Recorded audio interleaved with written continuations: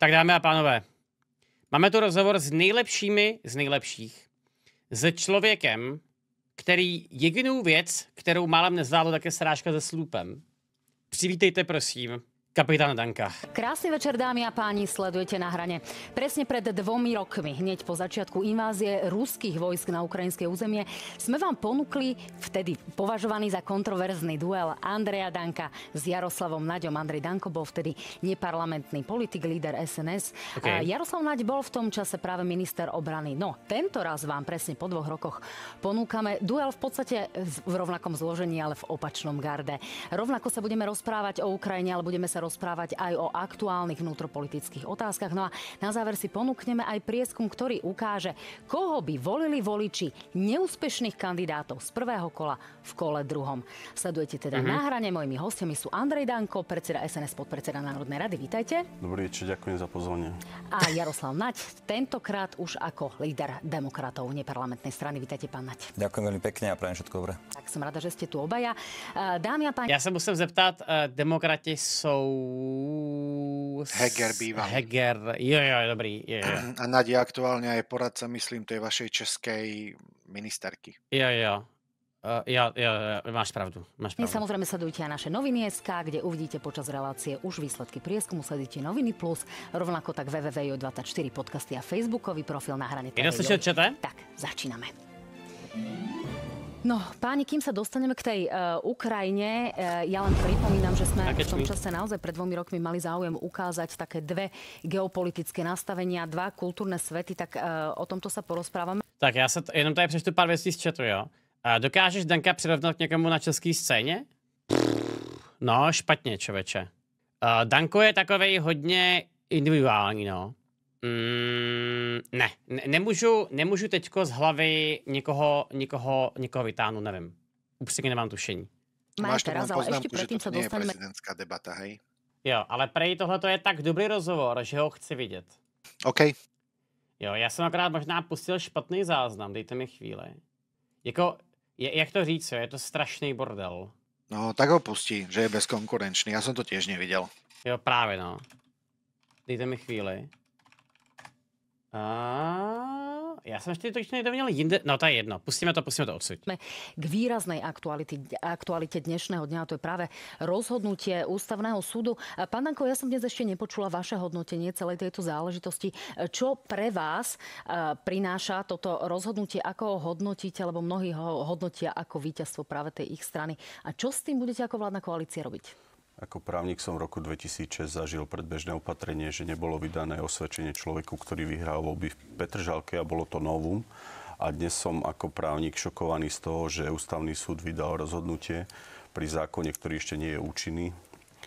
Ale musíme rešpektovať rozhodnutie ústavného súdu musíme ho naštudovať. Pre mňa je dôležité, že mm-hmm. potvrdil tú správnosť rozhodnutia toho špecializovaného úradu alebo špecializovanej prokuratúry, pretože naozaj len Bulharsko a pár štátov má takýto inštitút. Poďalšie, čo sa týka iných náležitostí, je to v rukách ústavného súdu. E, budú konať ďalej. Určite e, pri najlepšom vedomí a svedomí rozhodovali. A som naučený ako právnik rozhodnutia súdov rešpektovať a preto ani to nebudem komentovať, či je to dobré alebo zlé. Pre mňa je dôležité to, že ústavný súd potvrdil, že špecializovaný prokurátor nemá opodstatnenie v tom pyramidálnom usporiadaní, ale na druhej strane uvidíme, ako bude ďalej konať. No on zatiaľ e, nepovedal, nerozhodol... Ja som nakýdal trochu v šoku. Danko je právnik? Áno. Neuvěřitelný tie veci, ale rozhodol o tom, že teda toto zatiaľ nie je protiústavné. Pán Naď, e, ako vyhodnotíte e, teda rámcovo toto rozhodnutie ústavného súdu a čo to podľa vás bude znamenať práve pre vládnu koalíciu a pre e, kauzy, ktorých sa to týkalo, ktoré sa mohli vlastne daným rozhodnutím zastaviť? Pani moderátorka, ja poviem veľmi úprimne, že sa na toto rozhodnutie ústavného súdu pozeráme s nadhľadom lebo naozaj je to vlastne len rozhodnutie o tom, že pozastavuje účinnosť e, niektorých častí e, komplexnej novely trestného mm-hmm. zákona. Nerozhodol v merite veci. Nerozhodol ani, tak ako ste správne povedali, ani v súvislosti s úradom špeciálnej prokuratúry. Jednoducho e, čakajme na samotné rozhodnutie. Áno, v niektorých častiach pozastavil účinnosť, čo veľmi dobre viem, že aj z prostredia Smeru, že Roberta Fica mimoriadne nahnevalo a hlavne ľudí okolo neho, lebo nečakal, že sa to stane. A hlavne kvôli tomu nečakal, že sa to stane, lebo zámerne spomalovali vlastne e, to, aby bola uverejnená táto novela v e, zbierke zákonov, práve kvôli tomu, aby ústavný súd rozhodnúť nemohol. Ale ústavný súd zjavne vedel veľmi dobre, čo robí. A aj v tom samotnom rozhodnutí povedal vláde, a aj parlamentu, že vy nesiahajte na právomoci, ktoré má ústavný súd. Povedal no. to úplne jasne. Robert Fico povedal doslova, ja som veľmi spokojný s rozhodnutím o USP, že zanikne semenište mm. zla a porušovania zákona. A čo mal povedať oficiálne, pani reaktorka? Ono se potom jako dost možná tváří to tak, že celý ten ultimátní, celá ta ultimátní kauza okolo novely trestního zákona byla vlastně akorát uh, o tom sundat USP. Což je, pokud tohle je pravda, tak je to docela děsivý mezi náma. Realita je taká, že v, čo sa týka USP vôbec nerozhodol súd, to je poprvé. A čo sa týka, lebo v merite nerozhodol, a čo sa týka tých ostatných vecí, tak čo mal povedať, že je nahnevať? No nie, po, mohol povedať len to, že je teda strašne šťastný, ale ľudia zo Smeru samotní hovorili o tom, že bol mimoriadne nahnevaný. Takže a to odkiaľ tak, viete, pán Nať? No, priamo od ľudí zo Smeru, ktorí boli Čiže osobne vám to osobne povedali. Vám to teda, hovorili, áno, presne tak. Tak to je zaujímavé, že ľudia zo Smeru no, komunikujú viete, s demokratmi. No, tak, to tak býva. Vy ste no. boli v Smeru. Okay. Ale veľmi dávno, 22 rokov, 3 rokov dozadu. Pán Nať ešte kamarátov, ale Fico vám to rád uh, do, vyčíta. Pán... Uh, oni, oni byli směr? No, no, to bolo veľmi dávno a možno tam má nejakých známych, možno to len trepol, hej. Ja. Kto ja. vie, čo je na tom pravdy, že mu to niekto povedal. Jasne. Ale to, že bol naštvatý, verím tomu aj ja. Chápu. Uh, ak to teda správne čítame, to rozhodnutie ústavného súdu, zatiaľ naozaj nedošlo k tomu, aby sa aplikovalo premlčanie lehôd napríklad. Já že kde je mňa stišený zvuk chat. Ty to vytáhnu, hele, tako čumtajú v kauzách, ktoré sú tak yes. povediac tie vykričané, tie najväčšie, uh, tak to môže byť naozaj tým dôvodom toho, čo hovorí pán Nať. Čo to teda bude znamenať pre vás? Budete ten najbližší pol rok upravovať novelu trestného zákona ďalšími novelami trestného zákona? Pre nás to neznamená nič, ale zaujímavé je, a pán Nať to povedal, že pozastavil účinnosť niečoho, čo ešte aj nebolo účinné. Lebo právnici vedia, že je rozdiel medzi pravoplatnosťou a účinnosťou. Mm-hmm. Takže uvidíme, ako sa s tým vysporiada ústavný súd, lebo to je šialené, čo urobil z hľadiska práva. A hodnotiť, že či niekto včas alebo pozde posiela podpísaný zákon, tak myslím si, že je to na zamyslenie. Pretože, ešte raz hovorím, účinné je to publikovanie zbierky zákonov a oni hovoria o odklade účinnosti niečo, čo ešte účinné nie je. Ale pre nás to neznamená nič. Pre mňa je dôležité ako SNS, že sme zachránili rodičovský bonus, že sme pomohli dôchodcom na Vianoce, že chceme riešiť RTV, audiovizuálny fond. Ja som povedal, že pre SNS je priorita cestovný ruch a šport. Som rád, že to ministerstvo vzniklo. A samozrejme, že sú aj nutné jazdy, ako aj táto téma, špecializovaná prokuratúra, ale vy viete, že ja som sa aj 3 roky napriek tomu, že nás mnohí terorizovali, vyhýbal nejakej konfrontácii, nejakých Dobre, procesov. čiže vy budete čakať na, povedzme, návrh Roberta Fica, Petra Pellegriniho, Ale aké bude to ďalšie nejaké Peter koaličné riešenie? Pellegrini, ani Robert Fico. Jediné, čo ma mrzí, že mesiac nebude parlament rokovať, lebo to tak proste som musel akceptovať z pozície Smeru a Hlasu keďže majú väčšinu, pretože som chcel, aby sme práve v marci príjmali zákony, potrebujeme stavebný zákon, potrebujeme výstavbu diálnic EIA a mnohé iné veci riešiť. Ano. A parlament bude kvôli prezidentským voľbám mŕtvej, pretože Peter Pellegrini uh, proste uh, o to požiadal Roberta Fica. To ma fakt mrzí. Ale to znamená, ako to, aby sme si to vysvetlili, pán Danko, to znamená Peter Pellegrini. Já tady teda velice, velice nerad, ale naprosto souhlasím s tím, že ta aktuální blokáda všeho kvůli uh, USP a trestního zákona byla fakt strašlivá. Jo. Toto je děsivý. Pellegrini povedal Robertovi Ficovi, že si chce robiť prezidentskú kampaň a na základe toho na mne rokuje parlament? Ale tak to si to, to máme čo, vysvetliť? Ja vám poviem na základe čoho je to, že to, čo robia blázni ako Matovič s Pročkom v parlamente a to, čo sa tam deje a potom som už aj ja akceptoval ten návrh, sme chceli, aby neboli mm, priestory parlamentu zneužívané na PR bláznov ako je Matovič. A v každom prípade prezidentské voľby by mali byť dôstojné. Áno, táto debata tak prebehla, pretože uh, tá kampaň beží. Ale na druhej strane, čo sa týka konkrétneho rozhodnutia ústavného súdu, nikto s tým nemôže nič robiť. Musíme rešpektovať a počkať na rozhodnutie ústavného súdu. Takže myslím Aha. si, že nič vážne sa nedeje. Dôležité je, že to, čo bol cieľ, a to bolo centralizovať prokuratúru na tú štruktúru, ako sa patrí, pretože toto bolo len prechodné ustanovenie. V roku 2006 už sme mohli možno sa s niektorými inštitútmi ako špecializovaný súd rozlúčiť aj špecializovaná prokuratúra. Ja ako právnik to berem, že som rád, že no. to nespochybnil ústavný súd. My uvidíme teda, aká bude tá koncovka. Vieme, že generálny prokurátor prislúbil, že e, prokuratúry, špeciálne prokuratúry e, tie kauzy dodozorujú až do samotného konca. E, pán Naď, hlasíte sa o slovo, ja vás vidím. No tak ako hodnotíte to, tieto slova pána predsedu Danka o tom, že parlament skutočne, pokiaľ to dobre rátame, nejakých 48 dní nebude rokovať, stretne sa až v apríli a mm-hmm dovolím si naozaj tvrdiť, že tie platy sú pomerne vysoké na to, aby sme tu nevideli nikoho rokovať. Nech sa páči. Úplne súhlasím, viete, no... Tohle to je k tématu? Uh, počkej, počkej, co tohle to je? To je nějaký sestřih jako z parlamentu Matovič proti Dankovi, jo? Áno. OK. Asi to chci vidět, že jo? Preskakuje ti hlas? Preskakuje ti hlas? Dochádza tabletka? Áno, tabletka ti dochádza? No, tak vieme, celý národ vie, kto je Mešuge si regulérne mešuge, ktoré omylom vedie teraz Národnú radu. Pán Ty si omylom bol premiér. A celý národ videl One Time Next Time, dobre? Poprosím, odstúpte odtiaľto chudáčik, pán poslanec Matovič, dobre? Ako sa vyjadruješ? Ako sa vy vyjadrujete? Ako sa, vyjadrujete vy? Čo ste vy rozprávali? Povedz, zopakuj, čo si porozprával. Nech sa páči. Ty zopakuj. No, Porozprávaj, čo si tu hovoril. Poslancovi Národnej rady si hovoril. Hovoríte o slušnosti k ženám a správate Ty sa si to ako... teraz hovoril. Ty si porozprávaj, čo si porozprával, keď boli vypnuté mikrofóny. No povedz to. To isté, čo ste Ukáž, rozprávali vy, ale prosím vás, Ale pán vtedy si mi týkal, teraz pán, mi zrazu Ale tak ti budem týkať, Magorko, sadni si, dobre? Áno. Tak Pozeráš ako sa do zrkadla? Pozeráš sa do zrkadla, keď hovoríš Magorko? Ty kandiduješ za prezidenta? Ty? Ty, ty vedieš Národnú radu? Dobre, one time next time, pokračujeme ďalej, dobre? Pán Vašečka, pán Vašečka si užíval, pán Vašečka klamal pána predsedu parlamentu, ja som bol pracovne. Dobre? Prosím, co tomu předcházelo takovýhle výměně názoru? Uh, Danko bol na dovolenke, ja neviem, či to bola bývalá miska, alebo čo, a hovoria, že bol uh, za štátne, myslím, a hádzali tam na seba. Uh, Matovič o ňom nahral niečo, Danko mu niečo nahral z, z baru v Dubaji, hej, a toto je asi vyvrcholenie, si myslím.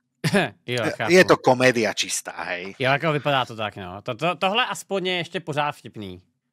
Výborne. Nevypálili si hlavne, to je dôležité. No. Rozumiem. Jo, a k tej dovolenke naozaj u nás ako parlament nebude 48 dní zasadať, lebo si schválili voľno. Odôvodňujú to tým, že poslanci majú aj prácu v regiónoch a tým, že sa naťahovala tá novela trestného zákona a zasadali aj mimo uh, bežných dní, tak mm-hmm. vlastne nestili robiť, uh, že boli mimoriadne schôdze, nestili robiť svoju prácu inú. Ja. Hej, neviem sa vyjadrovať, či to tak má byť, nemá byť, neviem. Jo, tak uh, takhle, je to pochopitelný, ale jako jsem říkal několikrát, no, vy strašně přicházíte o čas. Jako dosvat jako se čtyři, čtyři měsíce a nic neděje, že jo? Jo, ja s tým súhlasím. Mm, to je šílenství. Pán Danko povedal, že to bolo šialené rozhodnutie ústavného súdu. To je citácia. Ja si dovolím e, oponovať, lebo rozhodovať o tom, že či rozhodnutie ústavného súdu bolo šialené alebo nie, naozaj e, sa už vôbec nehodí vám ako podpredsedovi Národnej rady a ani mne ako opozičnému politikovi.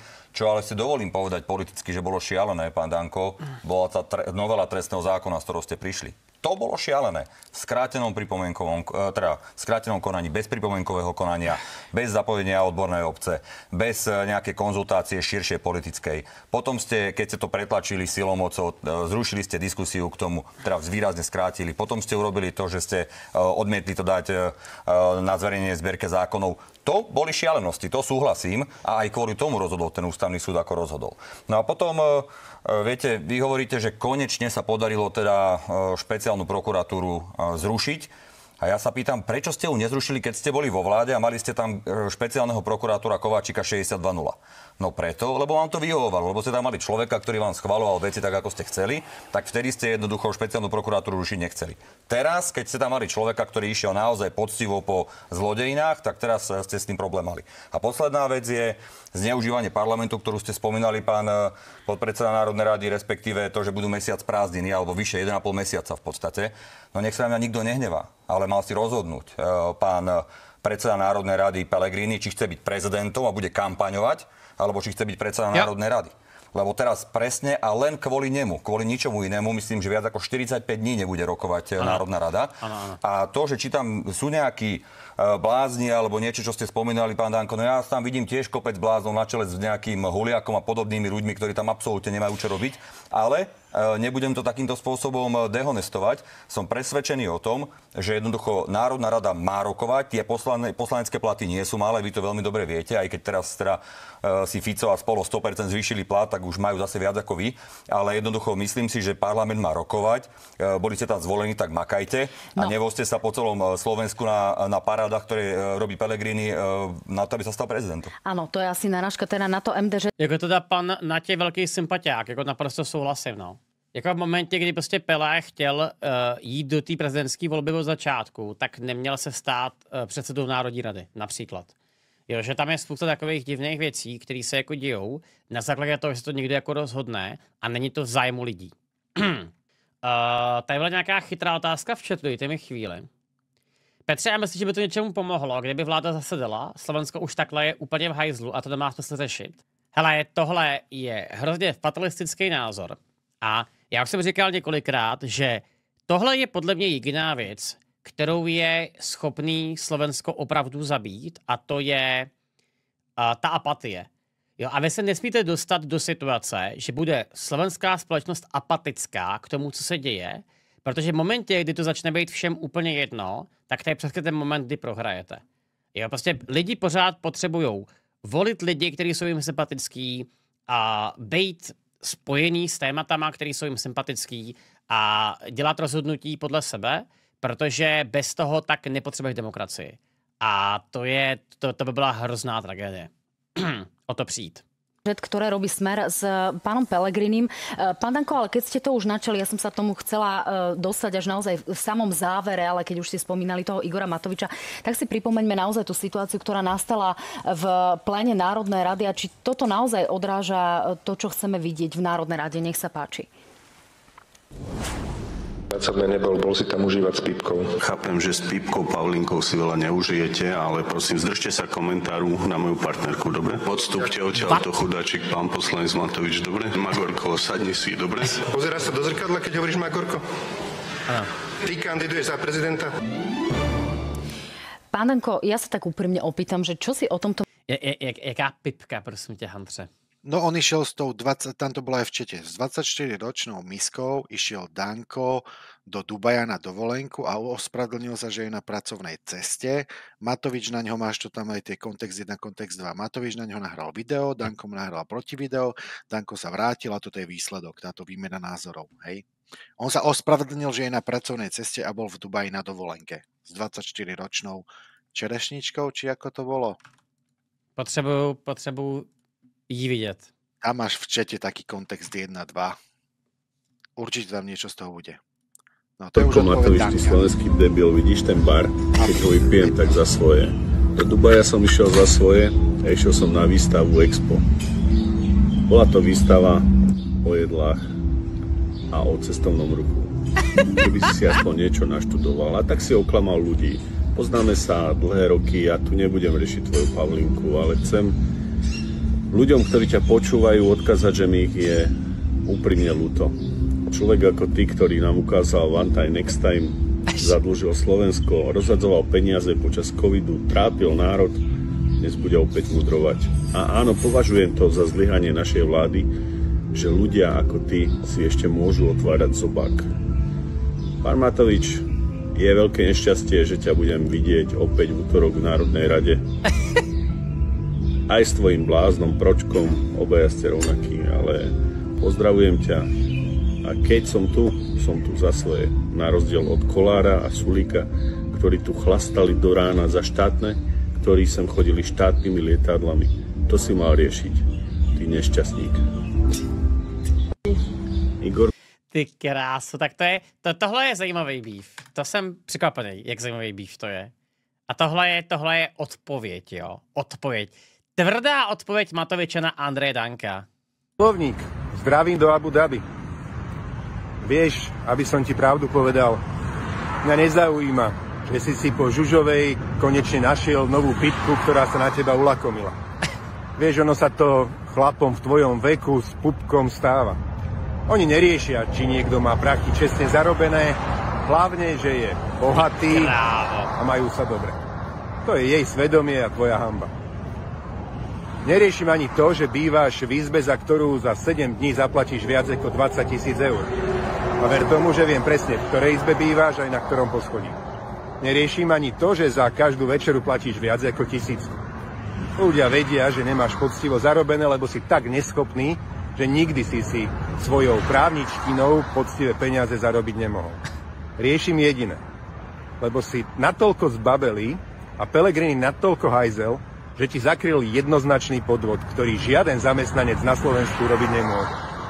Napísal si svojmu zamestnávateľovi, Národnej rade Slovenskej republiky, a to sú zároveň všetci ľudia, že ideš na pracovnú cestu alebo ideš riešiť pracovné záležitosti v súvislosti s prácou poslancov. Masakr.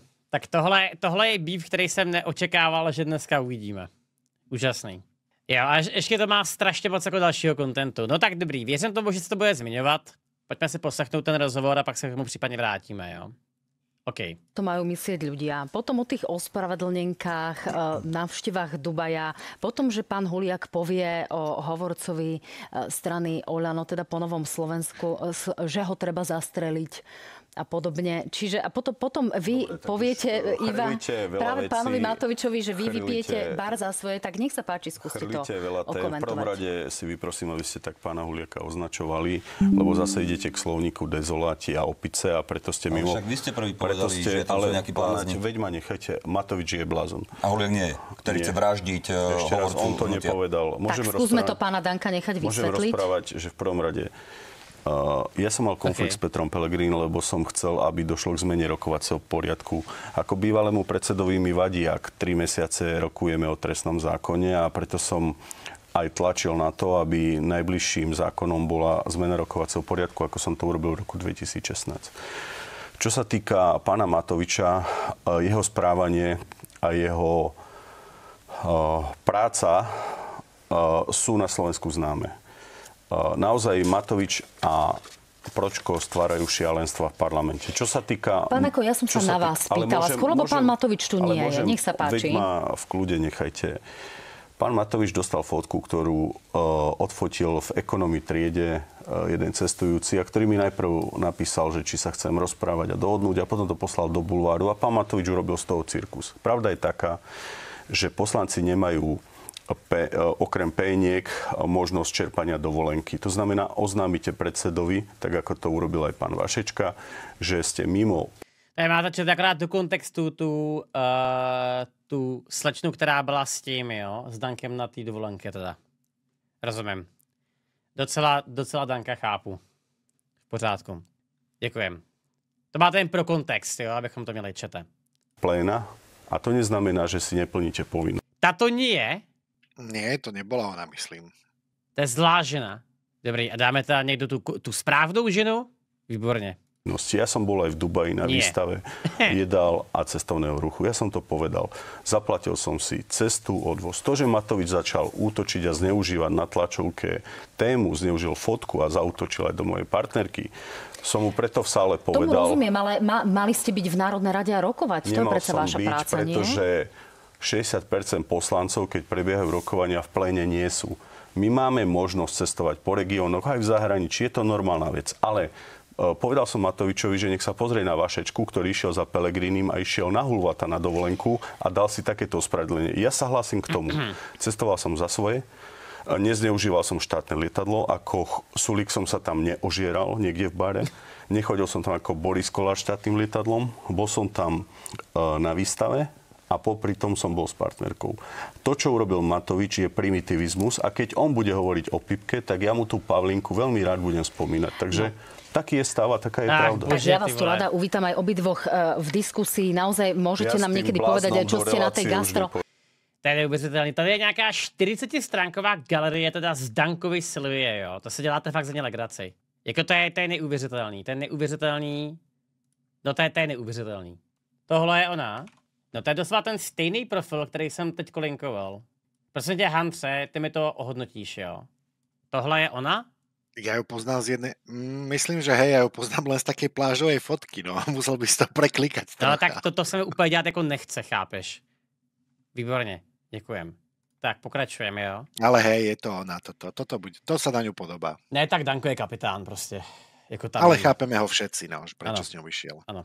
Gastro výstave videli, inšpirovali ste sa mimochodom? No, však ale, veď ste sa minule smiali z národného menu a z mnohých iných vecí a podľa mňa hotelierstvo, gastronómia sú dôležité témy a tam sa každoročne stretáva elita tak preto sa pýtam, že či ste sa e, inšpirovali, lebo teda nečakám, že kvôli mne ste naozaj e, šli do toho Dubaja vzhľadom na to, že sme Môžeme tu nedávno mali konflikt. o ministerstve Pán... cestovného ruchu a športu a môžem vám vysvetliť, prečo som tam išiel a čo bude toho výsledku. No, e, pán Nať, toto celé dianie sa vás už síce netýka, tak to prosím skrátene nejako okomentujme a poďme naozaj k tej mimoriadne vážnej téme, lebo ste poradcom práve Českej ministerky obrany, takže by som sa rada mm-hmm. naozaj dostala k mimoriadne vážnej téme. Ako Nebudem to nejako hlbšie komentovať. Mne to prišlo absolútne nepriateľné. Ako zo strany Igora Matoviča, tak zo strany pána Danka.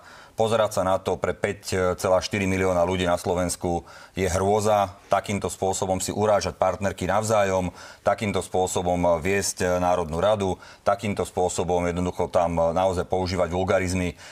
Jednoducho je to nepriateľné a rovnako tak je nepriateľné, pán Danko, rovnako tak je nepriateľné, aby váš poslanec Národnej rady, mimochodom držiteľ, mimochodom držiteľ zbrojného preukazu. Aby povedal, že dávno mal byť zastrelený hovorca hnutia Olano. Je to nepriateľné a podľa mňa, keby fungovala bazálna spravodlivosť v tejto krajine, tak ten človek príde o zbrojný preukaz okamžite. vy ste sa svetenej vode umil?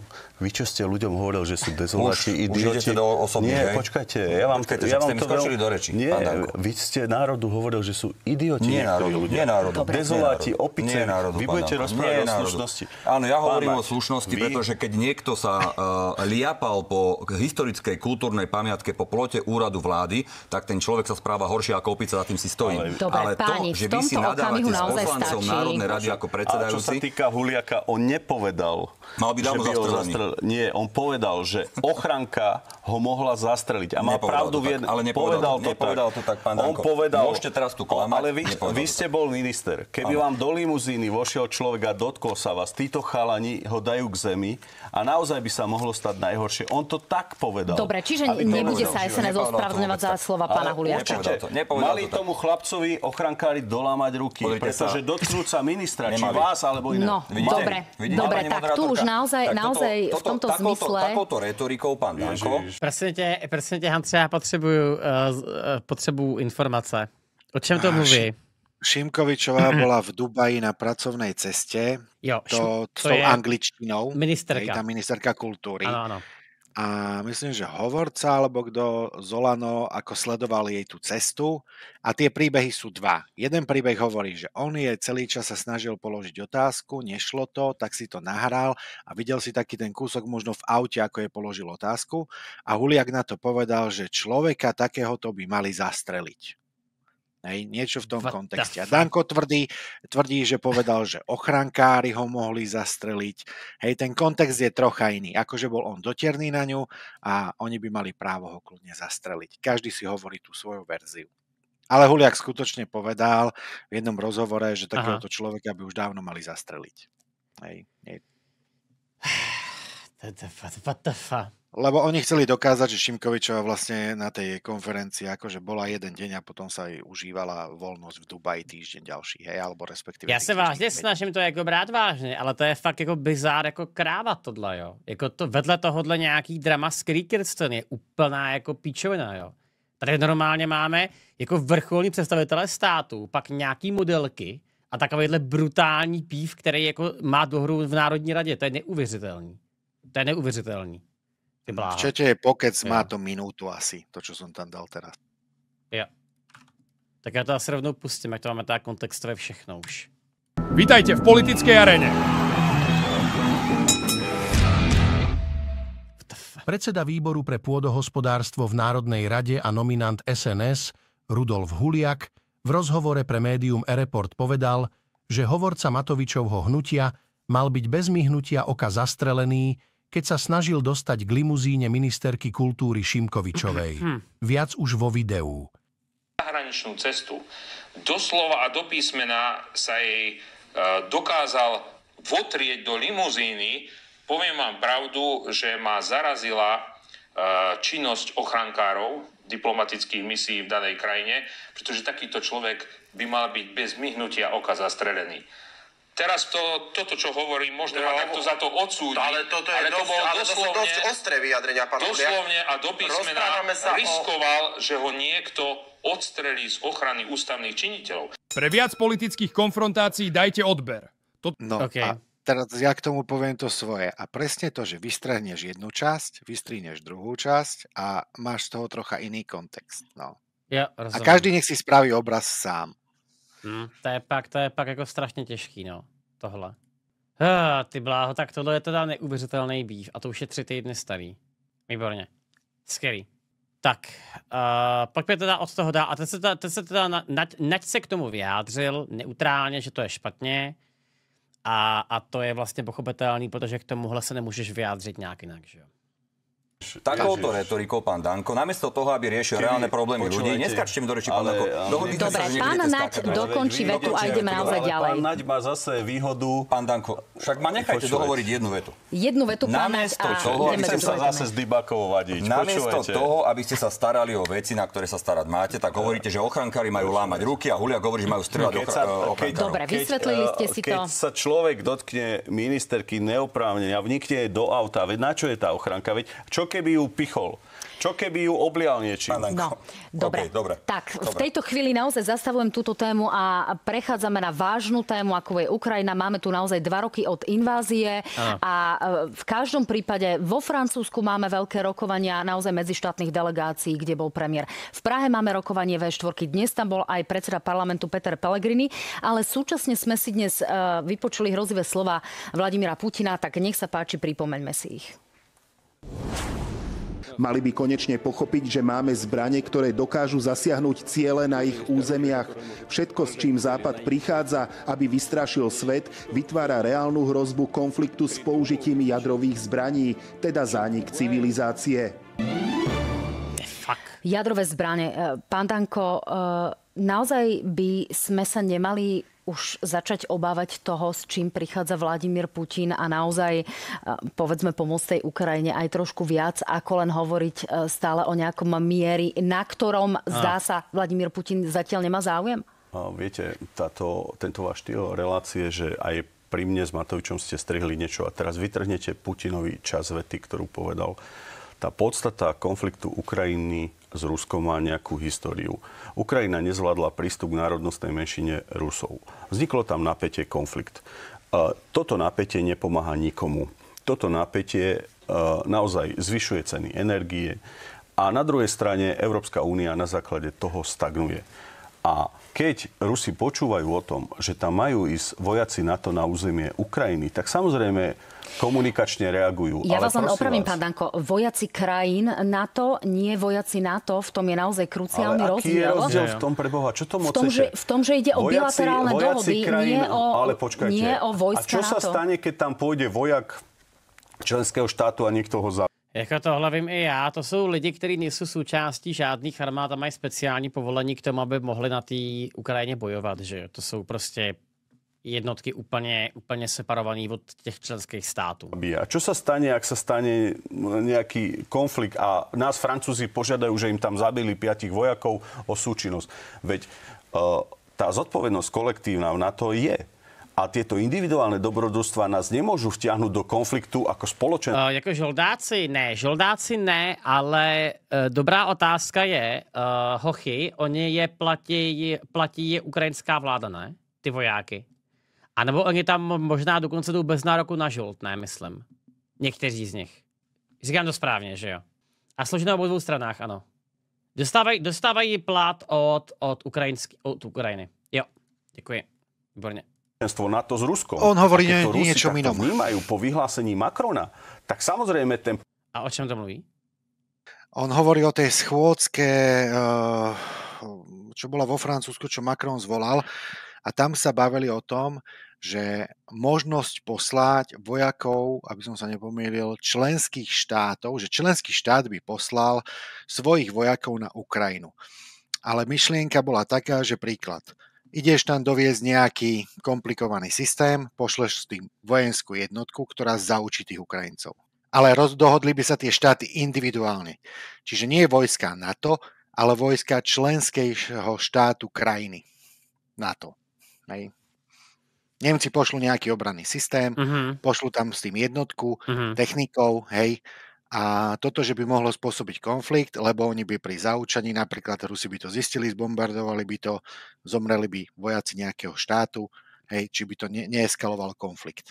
O tomto rozpráva. Nie o tých, čo si hovoril, tí, čo sú tam tak akože bojujú za Ukrajinu, Rozumiem, ale nie sú to rozumiem. vojaci. Hmm. Tak tohle potom docela, docela Danka v tomhle případě chápu, protože to je potom otázka, kde už je ta hranice, kdy se do, kdy se do toho reálně zapoje na to, že jo. No, že oni toho- o tom hovorili na tom stretnutí, sorry, že ti do toho skáčem, ale každý Chápu. to prezentuje inak, lebo Fico Hmm. hmm. mal také vyhlásenie, že aj keby ma to malo stáť post predsedu, tak to nedovolím, hej? A úplne Hmm. to až vyhrotil do takého extrému, ako keby ho Jo. Macron chcel odvolať, alebo niečo také. Já už to chápu, takže z tohohle vzniká ten narrativ, že nebudem posílat Slováky na Ukrajinu. Už to chápu. Jo, jo, jo, jo. Protože Slováci jsou jako vojáci NATO, takže by tam třeba mohly slovenské jednotky jet někoho zaučovat, anebo tam třeba dělat nějakou humanitární pomoc, už tomu rozumím. Výborně. Děkuju. Hm?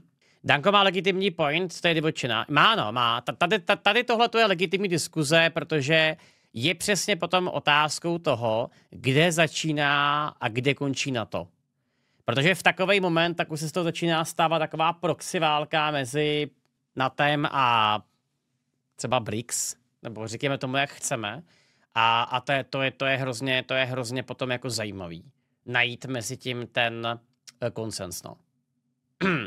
prejav mal určite, ako poznám Putina, viac ako hodinu zase a vysvetloval tie veci. Ale nemôžete Putinov prejav strihnúť 5 sekúnd, aby zase sa tu Ale pán na, naozaj A jenom sorry, proxy válka už to je. Proxy válka už to je teďko. Ano, můžeš říkat, že to je proxy válka mezi západem a východem, ale já jenom říkám, že ty nepotřebuješ přilivat oheň e, nebo olej do ohně tím, že bys tam právě poslal nepřímo jednotky na to. Chápeš, jakože to je, to, je, to je problém, který už podle mě je za hranou toho, jak by se ten konflikt měl řešit. nebudem rozplýval, Putinov hodinový Putin prejav zlý. púšťať v relácii, pán Danko, ale, takže to ale naozaj, aby... nemanipulujte ľudí Ja naozaj vytrhnutými vetami z kontextu. Pán Naď, teda, ako som spomínala, ste poradcom Českej ministerky obrany, sám ste boli ministrom obrany. Uh, je to naozaj tak, ako sa zdá sa so mnou, tak trošku sporí pán Danko, že je to priamy zásah na to a nie je rozdiel v tom, či ide o bi- bilaterálne dohody jednotlivých krajín? Som prekvapený, e, pán e, podpredseda Národnej rady, že ani z titulu podpredseda Národnej rady, ani ako bývalý, alebo teda ako aktuálny predseda e, Slovenskej národnej strany, ktorý volá, kedy mal pod sebou rezort obrany, e, že nemáte základné vedomosti, ako to funguje. Základnou vedomosťou je, pán Danko, že na to, aby sa niektorá krajina, či je to Európskej únie, NATO alebo aj mimo týchto dvoch zoskupení, aby sa rozhodla ísť, e, zapojiť do nejakého bojového konfliktu, o tom rozhoduje Národný parlament. Aj u nás o tom rozhoduje Národný parlament. Keď sa Francúzsko alebo ktokoľvek iný rozhodne ísť, zapojiť do konfliktu na Ukrajine, OK. je to ich suverénne rozhodnutie. Ani vy, ani ja, ani nikto iný nejakým spôsobom to nedokáže ovplyvniť. Rovnako ako keď e, my, a tu sa zhodneme, že nechcete ani vy a ani my, ani nikto na Slovensku poslať našich vojakov na Ukrajinu, tak nikto nás nemôže k tomu prinútiť a ani nikto to od nás nechce. A rovnako tak platí, pán Danko, že keď sa niektorá krajina rozhodne tam participovať a náhodou tam umrie vojak tej krajiny, nemá to nič spoločné s článkom 5 a v žiadnom prípade to nebude evokovať to, aby sa ostatné krajiny zapojili. Toto je fakt. Ale dovolte mi zareagovať ešte na začiatok, čo ste povedali, pán Povedali Danko. ste hlúposť. A ja sa Pán vás... Tá Nať je veliký sympatiák. Jsem překvapený z něho. Velmi teda. No prepáč, ja som neskákal do počkaj, nechajte ma rozprávať, Nie, prosím, ale- dobre? Tak nechajme chvíľku. Nechajte ma ale trošku, ja naozaj. v čom vidíte hlúposť? Pán Danko, povedzte, pán ktorú Naď, ste dokončite tak potom mi vetu. teraz povedzte, keď tam zoberie 5 francúzských vojakov a Rusi priamo zautočia na Francúzsko a Francúzi sa dostanú do vojny s Ruskom. Musíme Francúzsku pomôcť? Nemusíme, záleží to od toho, či to nemusíme. nemusíme. Pán Danko, opäť Prosím nemáte vás. základné vedomosti, pretože to záleží... Bezpečnosť. Kolektívna bezpečnosť je vtedy, keď niektorá z tých krajín o to požiada a keď sa členské krajiny ja. na to na tom zhodnú. A vy si myslíte, že Francúzi by nás nepožiadali? Však ale potom povedzte vášmu kam... Počkat, počkat, počkat, počkat. A, a, a, článek 5 může aktivovat kdokoliv z těch členských států, a pak se, pak se ty jednotlivý, jednotlivý členi na to rozhodují, kdo mu pomůže a jak. Ano. Jo, také, také, také, také to je konkrétne. Kamarátovi Ficovi, aby sa tam hrdo jo. postavil okolo toho stola v NATO a povedal, nie, my vám pomôcť nejdeme. potvrdzujete, že by sme museli pomôcť. Nemuseli, je to rozhodnutie hm. tej, ktorej krajiny. Počujete, Nemusíme, uh, pán Danko, nemáte pravdu, tak aspoň sa prosím, ale, v dobrom vám to hovorím, ale ne, mne, nerobte mne zo seba srandu. Ale ešte raz, vy si nerobte zo seba srandu a prestante byť osobný, lebo začneme byť osobní. Pán Danko, skáčete mi do reči ale, už druhýkrát. Ešte mi dovolíte zareagovať. Necháme pána Náďa, aby nám zareagoval. Pán Danko, naozaj necháme pána Náďa prehovoriť že teda ako to je, zareagujte vy a potom vraveli, slovo pán Vy ste vraveli... Já se ještě tady zeptám na jedno upřesnění, protože tohle mě zajímá. Článek 5 hlavně platí o napadení státu, ne vojáků v cizině. Tohle já chápu, ale není to náhodou článek 5 o ohrožení toho státu? Musí to být, musí to být nutně na území toho státu jako takový, jo? Chápeš, já, já dám třeba příklad, jo? Představ si, že jsi teďko Slovensko a ty víš, že Rusové mají pár set kilometrů od tebe připravený prostě, nevím, jaderní zbraně. Takže ještě nejsou na tvém území, ale ty o tom ohrožení víš. Můžeš v takový moment aktivovat článek 5? Chápete mi teďko myslím? Nemůžeš. Můžeš. Dobrý, můžeme to říct, ho, uh, můžeme to říct uh, nobody tohle? Nebo hochy? Jo, vždycky, vždycky to je akorát obrana, takže ne. Výborně. Takže opravdu je to obraný pakt. Ty musíš reagovat na ohrožení v vnitru toho členského státu jako takového. Výborně, děkuji. Danko tú otázku položil strašne blbo a budú sa okolo toho podľa mňa točiť, pretože on povedal, hmm. zabijú Francúzom 5 vojakov, napadnú Francúzsko. Hej, on to spojil do kopy. Mm-hmm a tak položil debilne tú otázku, že oni by mu mali hneď povedať, dobre, a myslíte napadnú Francúzsko, ako že mu zabili vojakov niekde na inom štáte, alebo napadnú fyzicky aj tú krajinu, hej? Tak to mal položiť otázku. No jasně, tohle, no. tohle je hloupost, aby mohli američani aktivovat článek 5, eh, když uh, padli nějaký američani ano, v Gaze, ano. že jo? Danko to podľa mňa tak zámerne no. aj povedal a teraz sa budú okolo toho točiť. Mhm. Výborne pán Danko, že Rusko zautočilo preto na Ukrajinu, hmm. lebo Ukrajina nezvládla nejaké osobné uh, vzťahy s národnostnou menšinou. A čo potom hovoríte na túto citáciu? Samotná existencia Ukrajiny je smrteľne nebezpečná pre Ruskú federáciu. Viete, kto to povedal?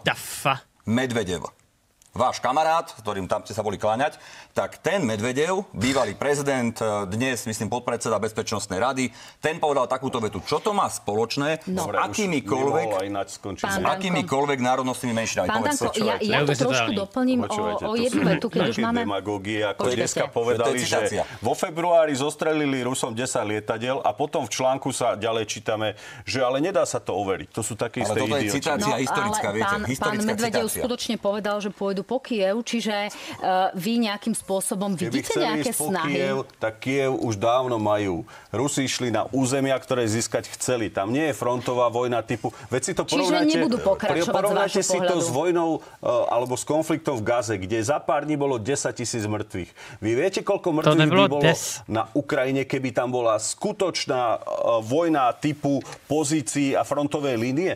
Ja hovorím, že Rusi obsadili, čo chceli a Ukrajinci majú šancu to získať naspäť. Ježíš, co je tohle za pytel hovén, doslova Rusové se dostali až ke Kijevu, teda jako ne přímo k němu, ale dostali se tam a pak se vraceli zpátky, že jo, v té první vlně.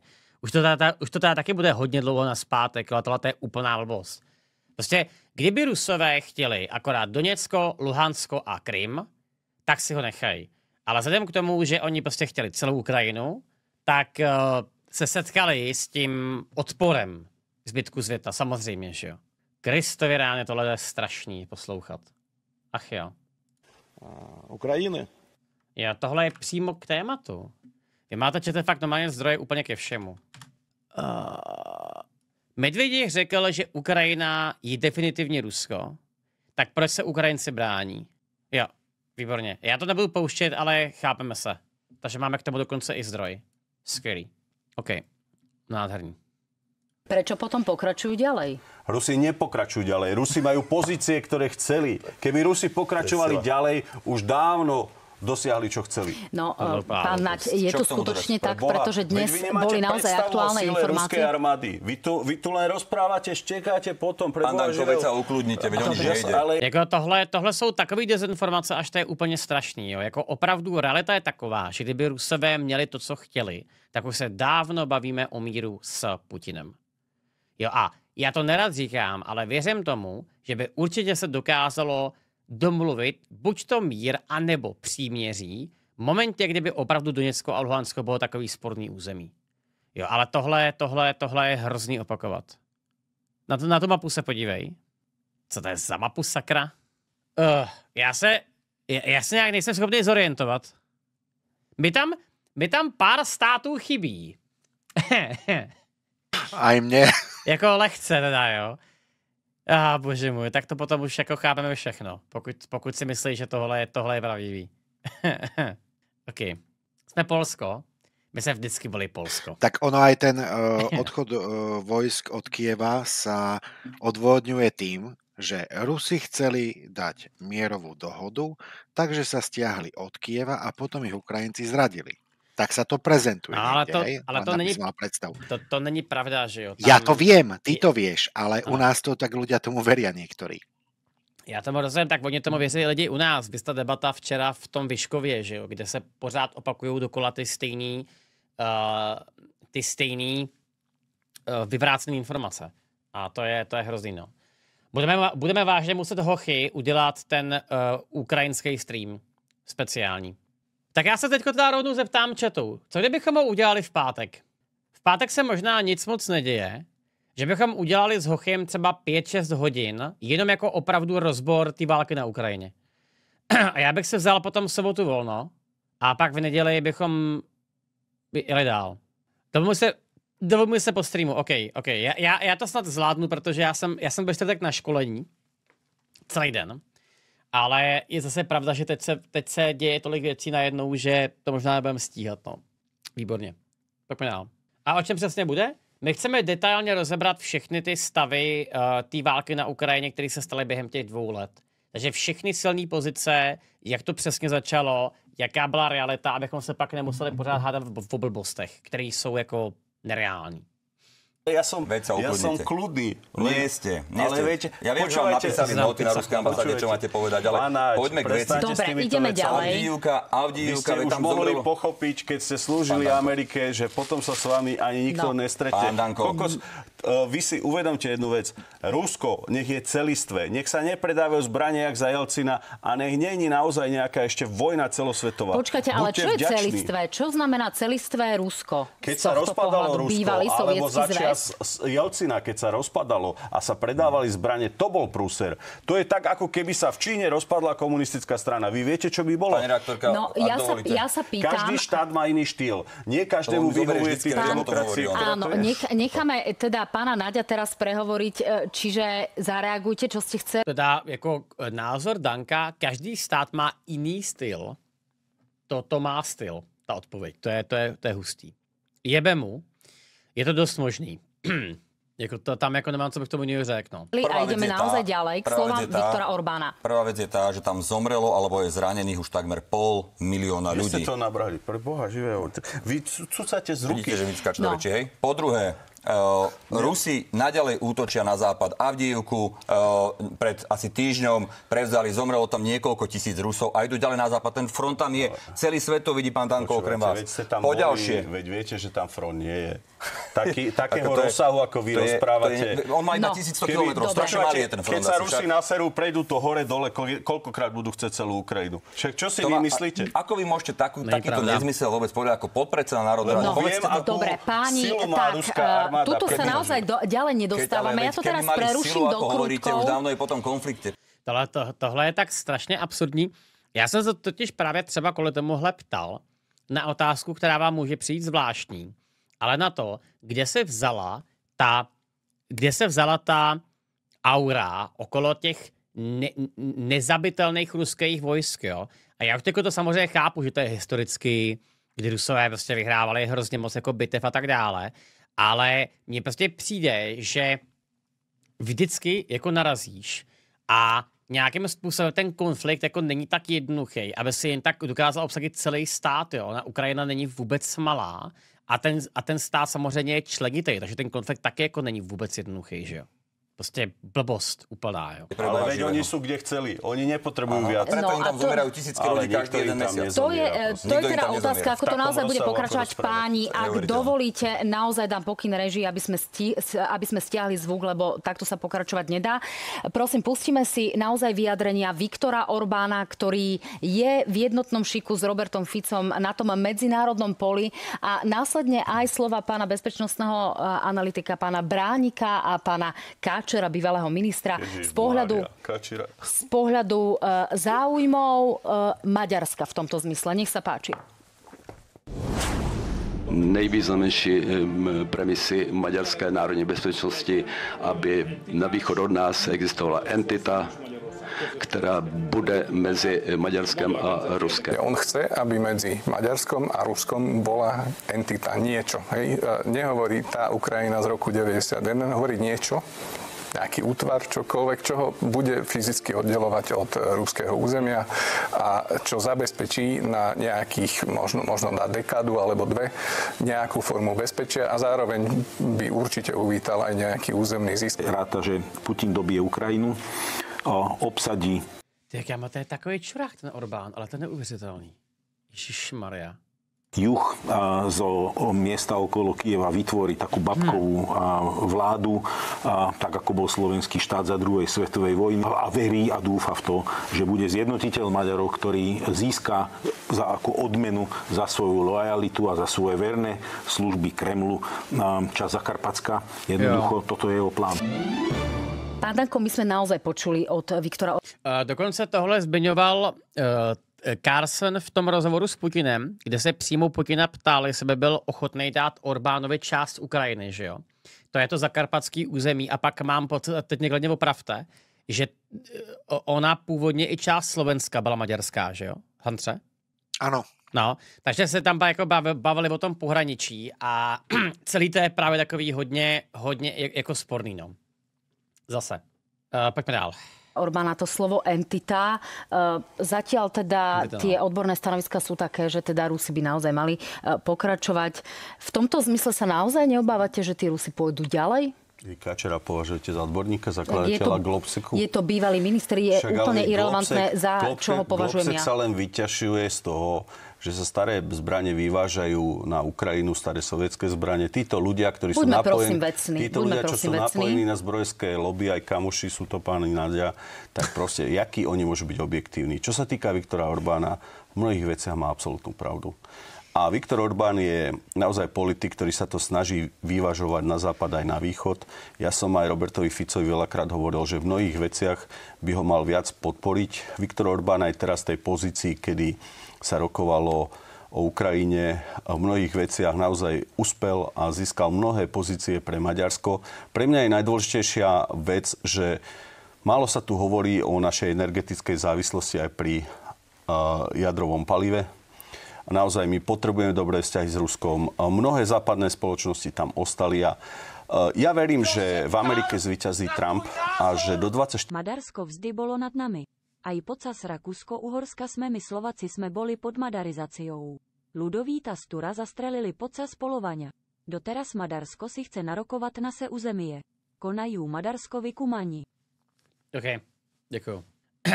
3 hodín, ako to povedal, ten konflikt skončil, lebo áno, zbrojárskej lobby vyhovuje konflikt na Ukrajine a taká je pravda. No, hm? pán Naď, zareagujte, ale ja to doplním ešte ne, tak jako bylo by strašně hloupý rozporovat to, že jakákoliv válka tak vždycky jako má své výherce a samozřejmě moment, kdy můžeš dodávat zbraně na obě dvě strany, tak to jako nedělal, že jo?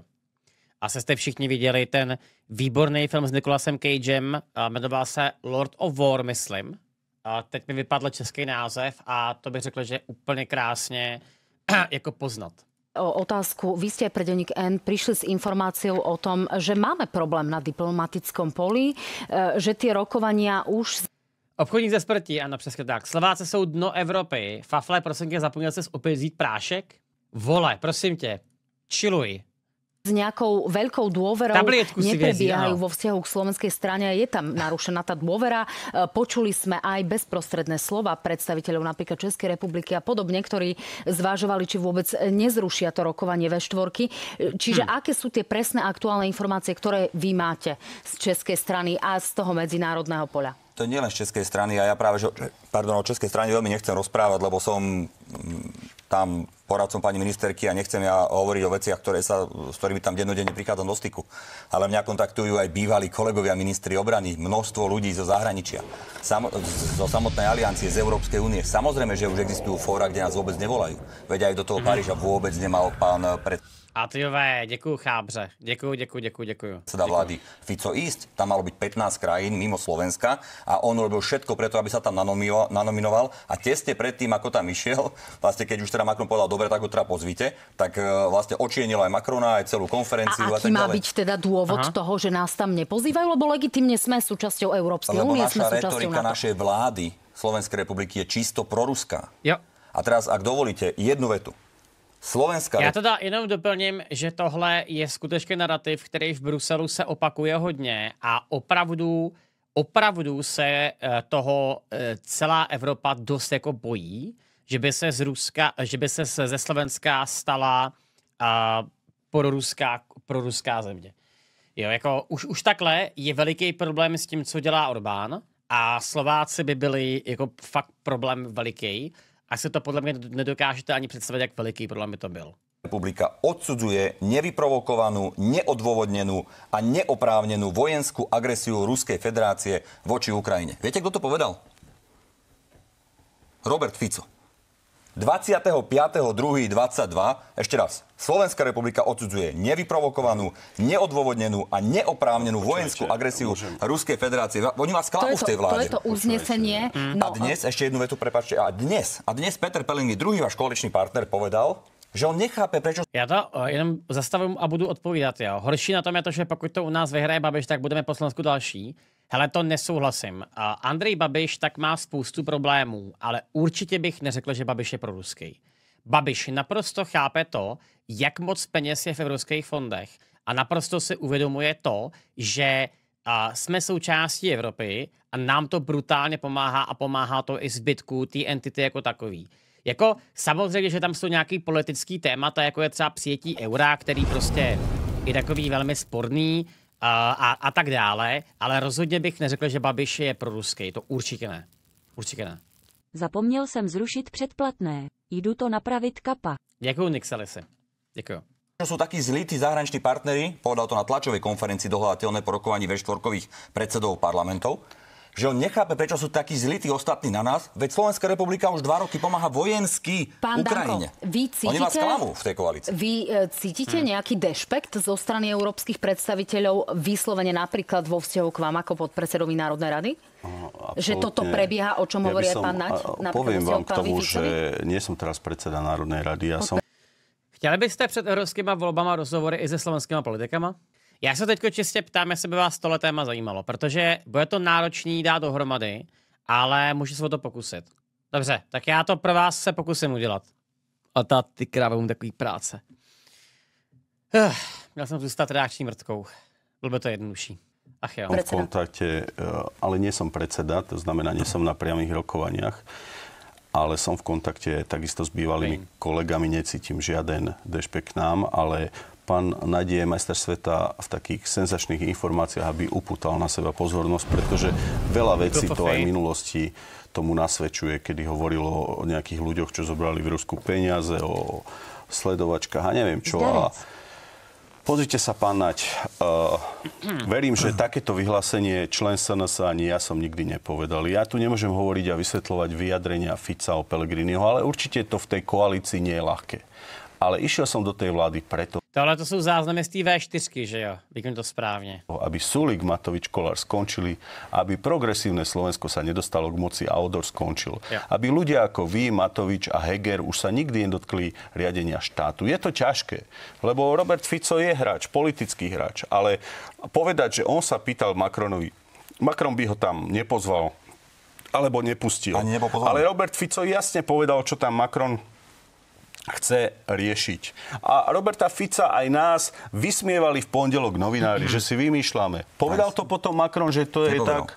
Povedal Macron, Nepovedal. že to je tak. Nepovedal. Ale hlavne by som vám chcel povedať jednu vec. Ja chápem, že sa vám zle pozerá na to, že táto vláda má akceptáciu.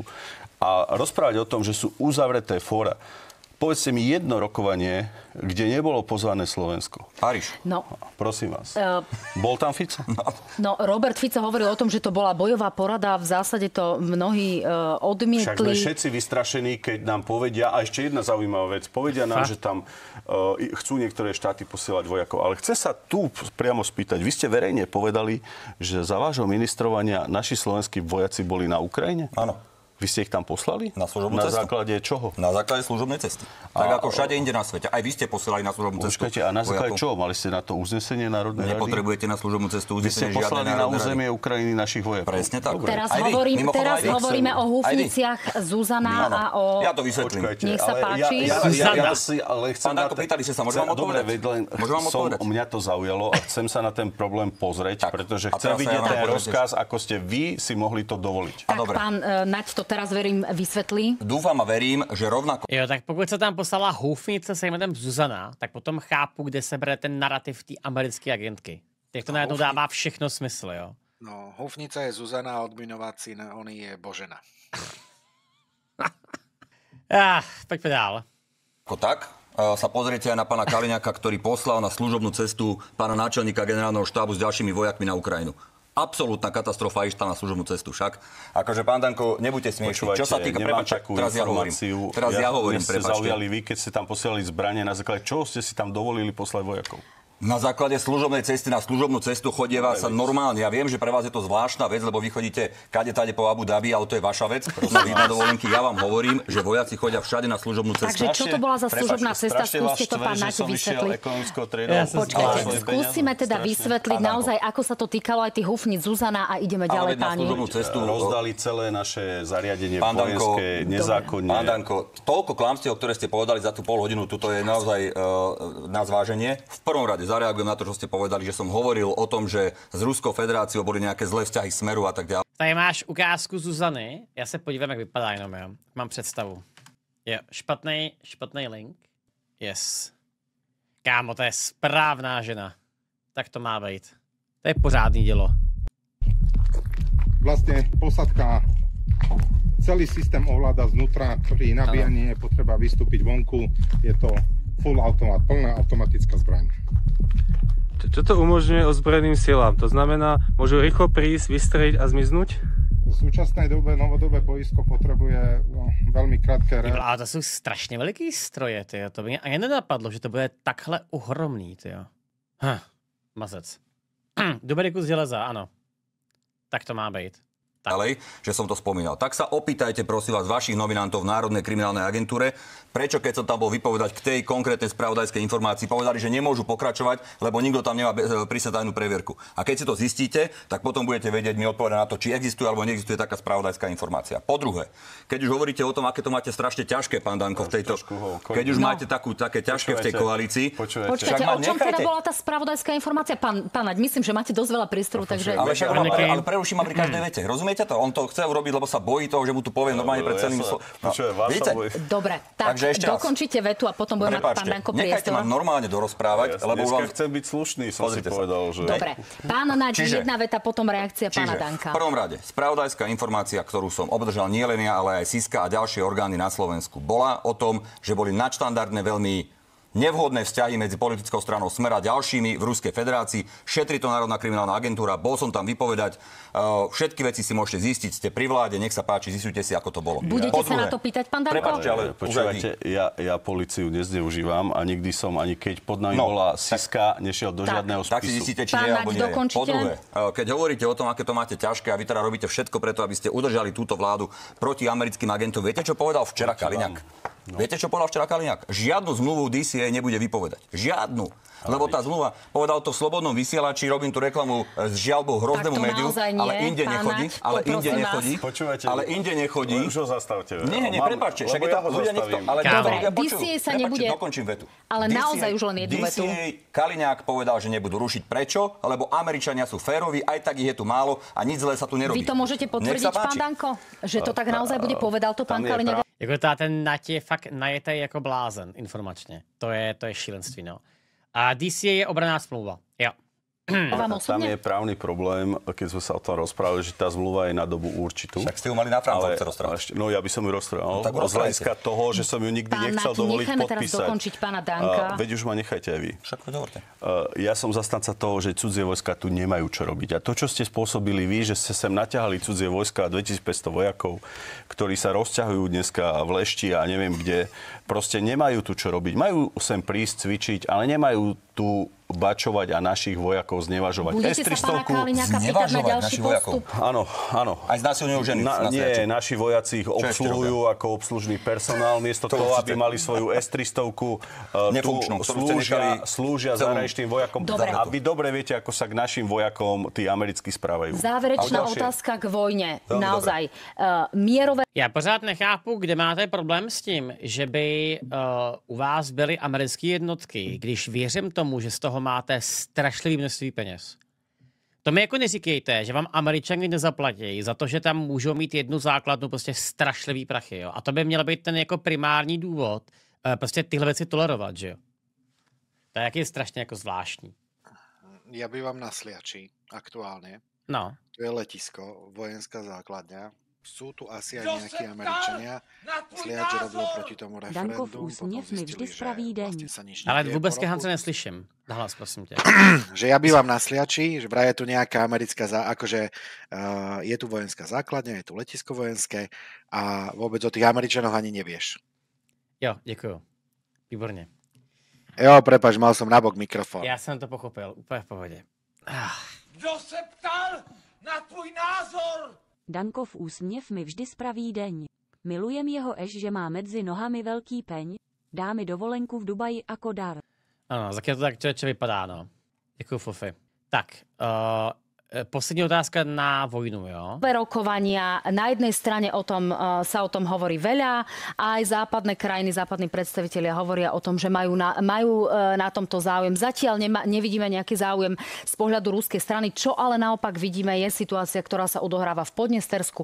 Ukážeme divákom mapu, ktorá sa týka práve Moldavska. Zdá sa, že Rusko sa práve môže rozširovať smerom k Európe. To je tá podnesterská Jo, výborně. Uh, tohle, na tohle se chci podívat uh, potom uh, s Hochym, protože já jsem slyšel, že teďko Podněstří je v takové situaci, že ono chce umožnit Rusům odsuť vytvořit druhou frontu ve válce na Ukrajině. A pokud by se tohle stalo, tak by to byl teda těžký průser, protože to samozřejmě najednou kompletně mění dynamiku té války jako takový. je to tak? No právě, právě. Mě, mě zajímá, jak moc reálný tohle je, protože zní to strašlivě. Jo. časť, kde vlastne miestna správa požiadala o tak povediac e, ochranu e, ruskej strany. To znamená, že Ukrajina by sa mohla svojím spôsobom dostať do nejakého e, obklúčenia. V tomto vy nevidíte nejaké rizika, pán Danko? Ja vám sa snažím vysvetliť, že na, po rozdelení Sovietskeho zväzu ostali národnostná menšina Ruska na území Ukrajiny. A teraz vzniká napätie. Aj v tom Moldavsku sú ruský hovoriace obyvateľstvo, národnostná menšina, ktorí sú na pokraji záujmu a pod touto demagógiou sú pod tlakom. Samozrejme, že sa hlásia k svojmu veľkému národu alebo k veľkému Rusku. A z toho vzniká napätie. Najlepšie riešenie je... To je dôvod si... na obsadenie území napríklad, alebo na správu Najlep- pod cudzím mandátom? Najlepšie riešenie je, aby si Biden s Putinom sadli a aby to vyriešili konečne. Pretože ten bezprízorný ukrajinský prezident, ktorý je len umelo naťahovaný, ktorý už vlastný Tak. národ ho nenávidí, pretože aj nedovolili nové prezidentské Tak to voľby. hádam nie. Tento konflikt nemá ani v kompetencii zastaviť. Každý vidí reálne, že je to človek, ktorý je úplne nesvojprávny pri týchto veciach. Pán Danko, na druhej strane, na, práve na ruskej strane sa vraždia politickí oponenti. Videli To je otázka, kdo se tam reálně do toho Bílého domu ještě sedne, jo. To, to se ještě musí zjistit. V Podněstří je 4000 vojáků a nemají, jak tam dostat další munici a nevyrábějí, takže by to moc dlouho nevydrželo. A Moldavsko by se potom mohlo zapojit na straně Ukrajiny. Jo. Jak říkám, pak to rozebereme, tohle, tohle je dost zajímavý téma. Díky. Videli sme tu naozaj aj tú situáciu s pánom Navalným, pán a podobne. Ja by Čiže som bol strašne rád, keby naozaj tí naši mierotvorcovia, ktorých máme v koalícii, aby jednoducho prišli, lebo oni sú ako tá miska, viete, že čo chcete vo svete? Svetový mier chcem. pán, a, da, a pán čo s Naď, bude to rozširovanie ruského územia ďalej? Ja to predpokladám, samozrejme, však to isté urobili v Gruzínsku, kde požiadali o pomoc Rusko, potom to urobili na východe Ukrajiny, kde požiadali o pomoc a teraz požiadali to isté. Tam, kde je ruská A národnostná opäť mi skáčete do reči, lebo vy, vy nie ste radi, keď e, niekto hovorí pravdu a musíte to nechať počúvať vašich voličov. Dovolte mi povedať jednu vec. dosť veľa slov. Dovolte mi povedať jednu vec. Hitler v druhej svetovej vojne to, prosím vás. naozaj išiel po, na východ a takto bral jednu krajinu po druhej a vždy sa ustupovalo. Teraz Áno. prvý svetový politik, ktorý to robí na európskom území, je Môžete Putin, ktorý Dobre. robí presne to Prosím isté, vás, pán Danko. Ja ktorý to robí naozaj to pán Danko, mali ste priestor. A cúvate pred ním a cúvate a cúvate a strašíte, reláciu, pán Danko, a No. strašíte. A tak ako ste strašili pred rokom, že bude mobilizácia, že naši vojaci pôjdu a nešli, teraz strašíte nejakou vojnou, len aby ste si vymysleli nejaký príbeh, aby nakoniec ste ustúpili a tomu Pelegrinimu ste povedali, nech je prezident, lebo on zachráni našich vojakov. Dobre, je a to teraz vymyslený celý príbeh. prezidentské voľby preberieme naozaj po reklamnej prestávke. Na prezidenta nepodporujem, takže tak neviem, potom čo nerobte to zase kampaň. No, tak Já to, já to jako nerad říkám, ale fakt to porovnání Hitlera s Putinem je dost, dost jako dobrý, bych řekl. Protože ty, kdyby se teď nechal Putina si dělat, co chceš, tak spousta států zanikne, protože je bude chtít absorbovat do té svojí matičky Rusy, že jo. Vy jste jeho rozhovor s, eh, s Carsonem, který pořád zmiňuju, protože tam to naprosto krásně všechno popsal. Tak, jak, jak, jak by se to on představoval. To je, to je naozaj dobrý oslý mostík. Dámy a páni, uvidíme sa o malú chvíľku, porozprávame sa aj o prezidentských voľbách, ukážeme si exkluzívny priestor a prieskum a príde aj priestor na vaše otázky. Vidíme sa o chvíľu.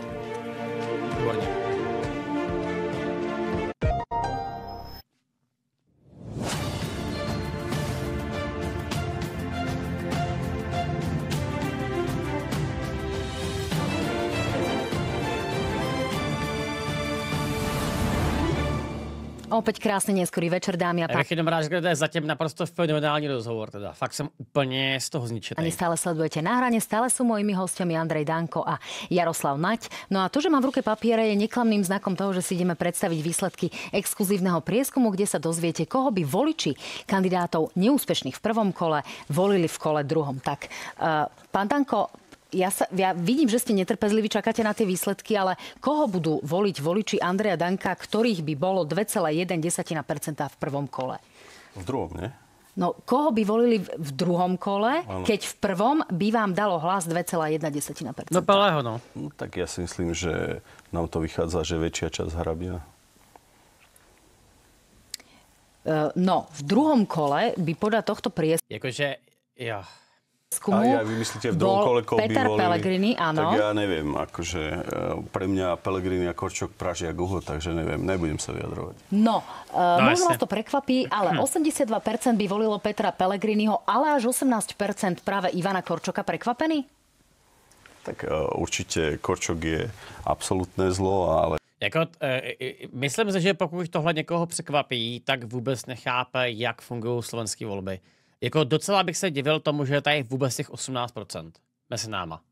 Jo, to je to jako hodně. ja verím, že Peter Pellegrini by pre nás bolo najlepšie, aby ostal v koalícii. No, pokiaľ ide o voličov Štefana Harabina, ktorý by v našom prieskume realizovanom medzi 5. a 12. februárom získal 8,1% v prvom kole, takéto by bolo prerozdelenie. E, Dvaja z troch voličov by dali hlas Petrovi Pellegrinimu, len 3% Ivanovi Korčokovi, ten zvyšok by nevedel alebo nešiel by voliť.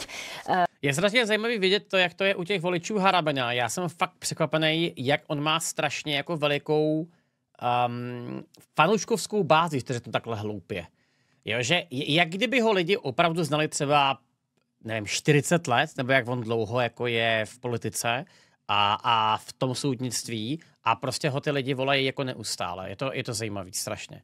E, Hovorí sa o tom, že sa vzdáte práve v prospech pána e, Harabina. Je táto úvaha skutočne čím ďalej, tým bližšia realite? Viete čo, my sme v komunikácii a nechcem, aby národný hlas prepadol. A mne je ľúto, že som sa s Pelegrinim nedohodol, že aby bol koaličný prezident. a že povedal, že nepotrebuje podporu SNS, takže uvidím, jak to dopadne, ale ja určite nechcem rozbíjať hlasy. Ja som povedal, že podľa prieskumov sa rozhodnem týždeň pred voľbami. Aká veľká je pravdepodobnosť, že dáte svoje odporúčanie svojim voličom voliť práve Štefana to Harabina? To sa ma pýtate, ako keď hráte šak, že kde budem ťahať. No tak chvíľu ma nech... Uh, já to ještě tady přečtu z chatu, to se mi líbí. Uh, ahoj palce, já jsem ve Stuttgartu v předně, a na předměstí Stuttgartu v Kilý barák také americká základna, je tam 28 000 obyvatel a vojákama jsou i civilisti, 20 minut od toho od centra Stuttgartu americká základna, 3000 čistých vojáků a nikdo, nikdo, se, nikdo tady nestěžuje a se nechodí do školy za synem amerického vojáka přímo ze základny. No jasně. Jako, já nevím, vy si myslíte, že by že v momentě, kdyby někdo chtěl udělat přesně základnu v jiný zemi, která tě bude stát strašlivý prachy, že by to dělali násilně, nebo že by to dělali bez jako nějakých, nějaký přípravy a tak dále, samozřejmě, že ne, že jo. No proste logický. Tak možno by ste mi mohli povedať, že z väčšej časti už ste rozhodnutí alebo na 80%. No e, pokiaľ ide o voličov Igora Matoviča, ktorého by v prvom kole volilo 4,8%, tak Ivana Korčoka by volilo 54%, jeho voličov 29%. Petra Pellegriniho, poďme ďalej, voliči Jana Kubiša, ktorých by bolo 3% v prvom kole.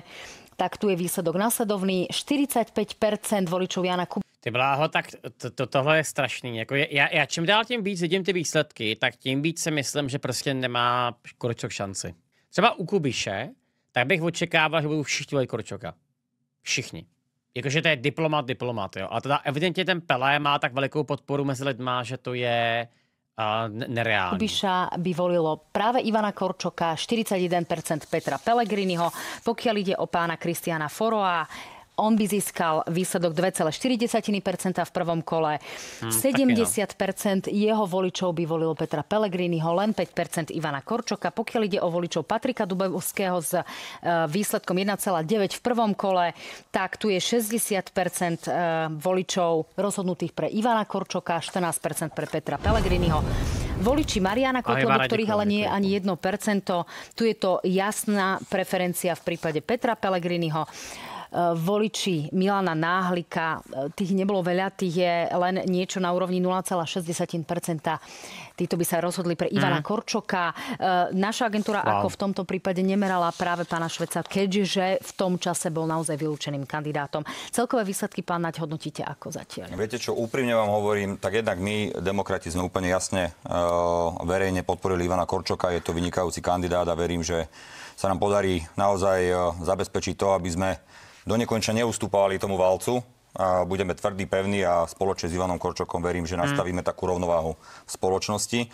Ale zároveň vám poviem úprimne, že niektoré čísla ma prekvapili a neverím im. Nehovorím, mm. nechcem spochybňovať agentúru, ale naozaj si nemyslím, že by až jedna tretina voličov Igora Matoviča volila Petra Pellegriniho. Ja, ja tomu taky teda nevěřím.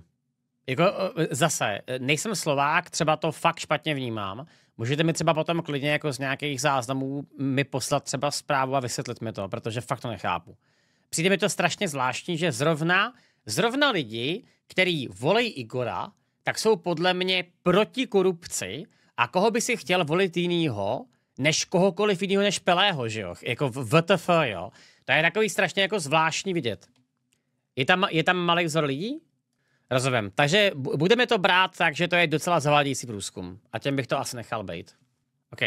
To mi príde veľmi nepravdepodobné, ale rozumiem limitom toho tak prieskumu. Čísla sú naozaj malé, pretože Igor Matovič naozaj áno. nedosahuje nejaké veľké, e, veľké výsledky, preto sa vlastne áno, rozhoduje a, a hovoríme áno. vlastne o ale rozdelení si, pomerne malých čísel. Celkovo si myslím, že naozaj bude e, ten súboj veľmi tesný medzi Petrom Pelegrinim a e, Ivanom Korčokom a na konci si dovolím povedať, Čau, že Ivan Korčok zvíťazí lebo ľudia sa zmobilizujú na to, aby nedovolili válcu, aby už naozaj hmm. obsadil všetko. No, pán... To sa uvidí, no, ešte.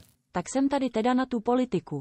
Ja som herní streamer. Nice try. Nice try, Olivera, ďakujem. Ani stretnete sa v eh, europarlamentnom súboji, teda v boji o europarlamentné kresla. Obaja, vyzerá to tak. Eh, pán Danko, vy ja máte naozaj eminentný záujem dostať sa do Európskeho parlamentu. Je to skutočne Môžem tak? Môžem vetou to, čo povedal pán Naď. Eh, ja som povedal, že Jinak gratuluju těm Bragrým, děkuju, děkuju. Já se cítím úplně skvěle a myslím, že vypadám výborně.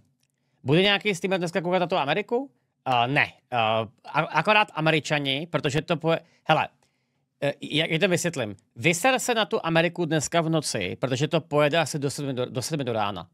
Já budu zítra, já budu zítra uh, odpoledne coverovat ty americké primárky a dorazí přímo i novinář, který se tím zabývá. Takže zítra to rozebereme detailně a stejně to vypadá, že podle toho rozhodnutí z Koloráda, tak to bude Trump proti Bidenovi. Nemyslím si, že by to bylo nějaký jako velice zvláštní, ale kdo ví, no. Jediný, kto porazí Korčoka, je Robert Fico.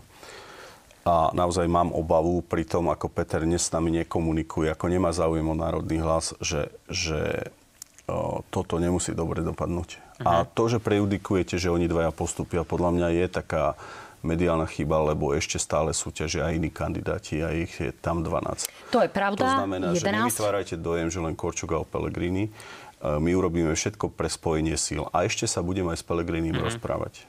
To znamená, že ja uvidím, ako sa to bude vyvíjať, ale určite Korčok je uh, pre nás také niečo ako Čaputová nepriateľ. Čo sa týka eurovolieb, my Jo, takže Danko teďko nevyloučil to, že by podpořil Pelého.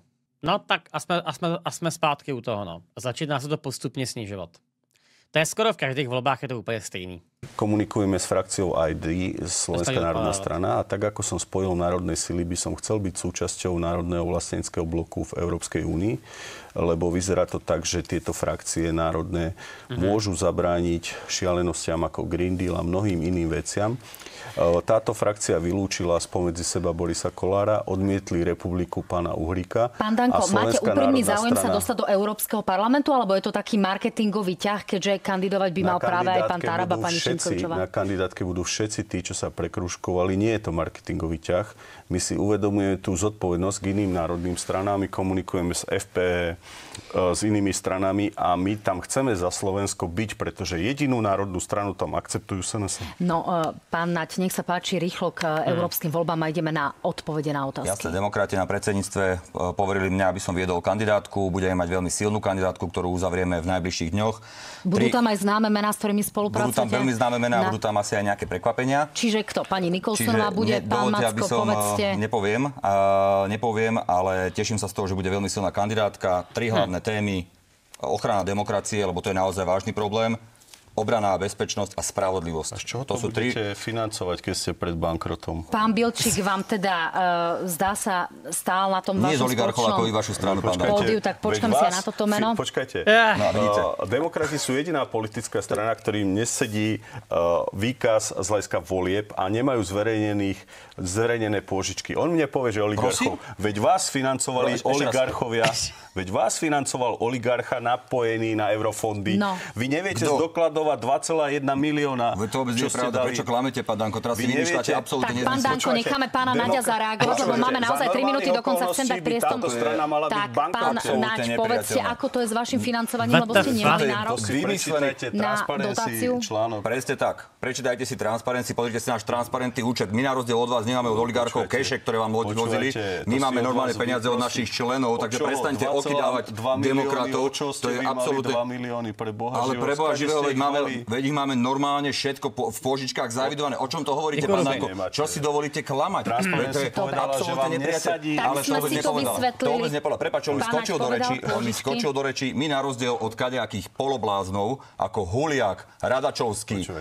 Uhrík, Uhrík a podobných ľudí dávame normálnu odbornosť. My tam dávame ľudí, ktorí majú obsah, ktorí vedia cudzie jazyky, ktorí majú, ktorí majú skúsenosti, v tejto kontakty. chvíli je naozaj čas. nejaký nezmysel, ako vy. V tejto chvíli je naozaj čas na Mali by ste tú stranu dať do bankrotu. Nemá- lebo- Poprosím, lebo nás pom- nám pomohli poprosím ľudia. vypnúť zvuk, aby som mohla položiť otázku.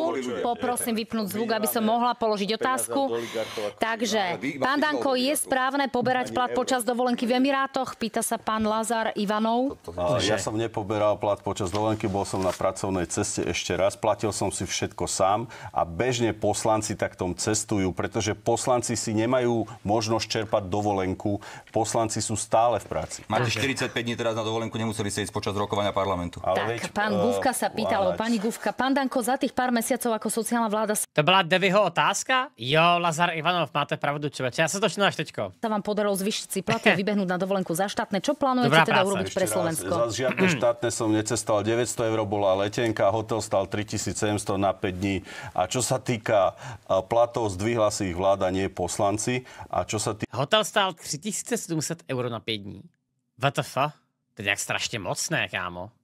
Týka pomoci, pomohli sme dôchodcom, zachovali sme paušálne výdavky, pomohli sme zachovať rodičovský bónus a keby bolo na mne, tak aj teraz parlament rokuje ďalej. Martin sa pýta opäť pána Danka, prečo chcete zasahovať do fungovania RTVS, ktorá je nezávislá a nepropagandistická? Pretože RTVS riadi človek, ktorý sám dostal jedno médium do bankrotu a to, ako sa RTVS správa mediálne, ako linčuje túto vládu, ja sa na to pozerať tejto vláde nebudem. RTVS podľa mňa má byť štátna a verím, že ju dáme do poriadku v priebehu pár mesiacov. Tak to by ale mohlo znieť pomerne autokraticky automaticky, no nie? No a tohle je právě ten pro- problém, který se stal v Polsku a který nakonec si myslím, že uh, je lepší, když um, tyhle veřejnoprávní média jsou opravdu veřejnoprávní a jsou placení z koncesionářských poplatků, protože s tím nemůžou politici nic dělat. A tak by to, tak by to mělo reálně být. Což samozřejmě úplně nehraje jako dople na Ficovi a jeho plánům, a úplně stejně jako to nehraje nebo nehrálo do plánu eh, v Polsku PISu, že jo? Aj sa tak správame teraz. No lebo, to, tak je. lebo takíto ľudia si zaslúžia len pevnú ruku, ako Matovič a Nať. Oni nerozumujú inému ako si Počkajte, ale RTVS nie je vládnou televíziou. Vy nerozumiete demokracii. Vy ste autokrát, preto sa ten Putin tak páči. Preto ste aj Orbán. v obchaní v zadnici. Ja keby som mohol a Fico by ma viac počúval, to ja by som iné poriadky tu narobil. Poriadky, tak no, ste zvýšili. Ale to nie je vaša televízia, alebo vládna televízia naozaj. Kapitán promluvil. Nebudem pozerať nejakú redaktorku, ktorá zhovadzuje Roberta Fica v Prahe, nejaká redaktorka nepáči pravda, čo? To je tak. Čo si to dovoluje, no, tam pred premiérmi sa bude nepáči. predvádzať. Tak uh, novinári sa môžu naozaj uh, pýtať, čo chcú a redaktorka Vitková sa naozaj, čo chcete, naozaj ale pýtala k veci. a verejnoprávnej my to dáme do poriadku. No, uh, toto tak. vidíte, občania, že ale... toto je demokrat. Toto je, my, sa, toto my naozaj pozorne budeme sledovať. Nechcete šialencov ako Matovič alebo agresívnych ľudí ako pán Naď, tak jednoducho nám verte. Za novinárov si dovolím tvrdiť, že, že asi verejnosť naozaj nechce cenzúru, pretože... Pust to ešte jedno a poslouchej to. No já, já ho poslouchám, já to naprosto chápu. On prostě chce, uh, on prostě chce, aby Robert Fico nebo aktuální vláda byla schopná, byla schopná ovládat veřejnoprávní média. No. No. Cenzurované médiá naozaj sú známkou autokratických režimov. Ideme ďalej. A novinári môžu všetko? Novinári si môžu vymýšľať, Novinári ako majú aj svoje regulatívy. No, pán Danko, sa... ideme ďalej, ideme, aby sme boli naozaj vecní. Pán Danko, ak by ste sa nedostali do druhého kola prezidentských volieb, koho by ste podporili z dvojice Pelegrini Korčok, vy osobne? Ja som povedal, že sa asi druhého kola potom nezúčastním. Ján, eh, chcete mať na slovenskej východnej hranici z Ukra- eh, Ukrajinu alebo Rusko?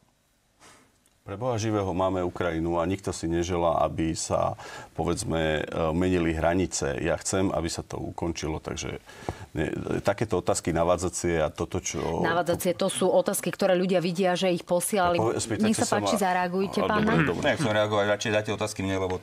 Otázka pre oboch od Tomáša. Ako vnímate zlé vzťahy V4 a fakt, že aj náš najbližší sused, a to Česká republika, sa začína od nás dištancovať a je veľmi pravdepodobné Aha. skončenie spolupráce V4. V4, tak začnite vy teraz, pán Nať. sa od nás... Tohle by měla být první otázka a měla by být daleko důležitější než třeba řešení té vojny na Ukrajině, protože skutečně mám pocit, že ty vztahy mezi náma jsou dost napnutý teďko. A to je špatně.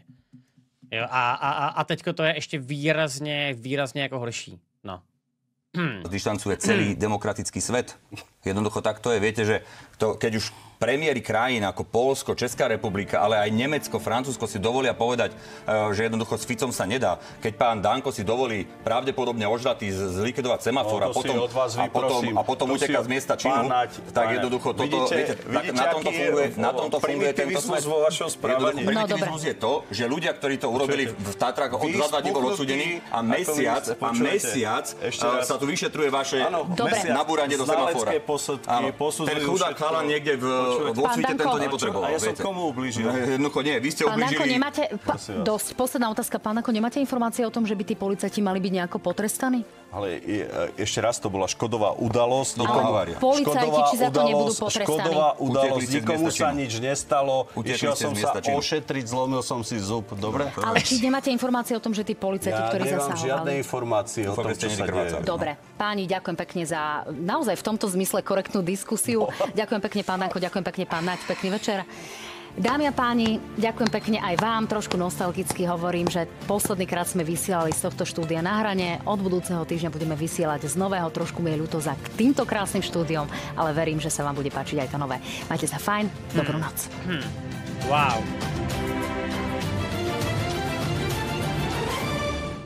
Já bych chtěl poděkovat všem, co mi, co mi to ten rozhovor doporučili. Tohle byla teda fakt královská cesta, ty bláho. Úplně, úplně všechno jsme tam, jsme tam dozvěděli se. No, a co k tomu říct? Eh, Já jsem teda rád, že jsem slyšel pana Natě a je to velice sympatický člověk, který podle mě přesně jako ví, kde je jeho srdce a jakože ví, o čem má mluvit. Akorát klasicky jako vedle lidí, jako je Danko, se docela špatně jako cokoliv um, řeší, eh, jako rozumně, jo. Takže podle mě to dopadne tak, jak už jsem říkal moc krát, a to je to, že Danko zjistí, že má před prvním kolem preference třeba procento a půl a potom, co má takovýhle preference, tak odstoupí a jeho voliče sežere Pellegrini. Jo, takhle, takhle si myslím, že to podle mě dopadne. S tím, že on si z toho udělá, uh, on si z toho udělá Danko velikou kampaň do eurovoleb a tam bude nejvíc zajímavý vidět to, kdo bude potom jako ze Slovenska se posouvat do, do Bruselu jako dál. Nebo Harabinovi? Nebo Harabinovi, no. Pojďme se podívat na ten poslední průzkum, jo. A teda možná, že ještě dneska pustíme Mato- Matoviče, protože to je fakt masakr. Tak, jak to na to působilo, prosím tě, Ance? Mm, taká klasická debata medzi Dankom a Naďom. Uh-huh. To bolo úplne, to som čakal, že oni si skočia v nejakom momente do seba a budú sa tam prekrikovať. Mne vadí to, že uh, väčšinou Danko a dneska aj tí vládni politici väčšinou skáču do reči. Všímam si to pri, častokrát pri debatách, že skáču do reči. Plus Matovič je extra trieda v tomto. No jasně, tam je to úplný, úplný šílenství. OK. Tak podle nejnovějšího průzkumu by prezidentské volby v prvním kole vyhrál Ivan, Koč, Ivan Korčok. Wow. Really? Tak to je ale těžká Uh, novinka. toto máš druhé kolo, hej? Ne, toto máš první. druhé kolo. Tohle je první. Si pozri, preferencie prezidentských kandidátov druhé kolo. V prvom kole áno, ale toto už je druhé kolo. To, čo teraz pozeráš.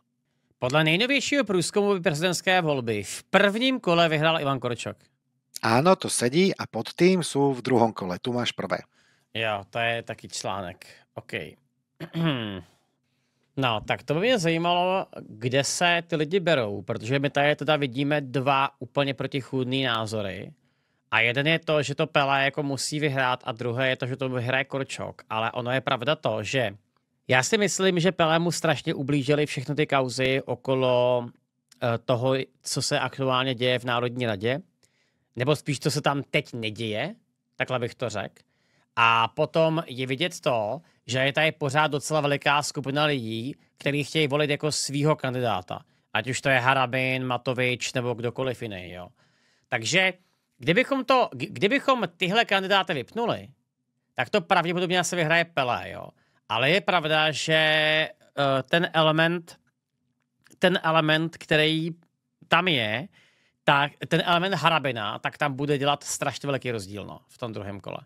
Jako to je třeba první průzkum, u kterého vidím, že by to vyhrál... Uh, aha, a tohle to je druhý kolo. To je druhé kolo. To je to, čo som ti vravel, že tu je Pellegrini ako víťaz v druhom kole. Hmm. Tam ide o to, že tie hlasy z toho prvého kola, kde sa rozpustia. A momentálne napríklad ten Harabín má podľa mňa viac jeho voličov sa nakloní tak, ako to bolo ukázané k Pellegrinimu. Že tam to väčšie percento skočí. Mhm.